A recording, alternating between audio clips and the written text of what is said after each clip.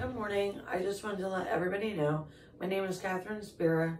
I've been seen by um, Dr. Steven Grossinger out of Springfield, and I just wanted to let everybody know that he gave me a PRP that I kind of begged him for. My left foot was in excruciating pain. I was at a 10 on a pain level of 1 to 10. I was at a 10.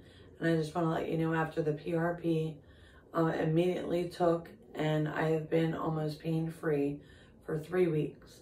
So I just wanted to let everybody know that him and his staff are absolutely wonderful. And um, if you guys um, endure any joint pain or anything, please inquire with him because he ab absolutely saved my world.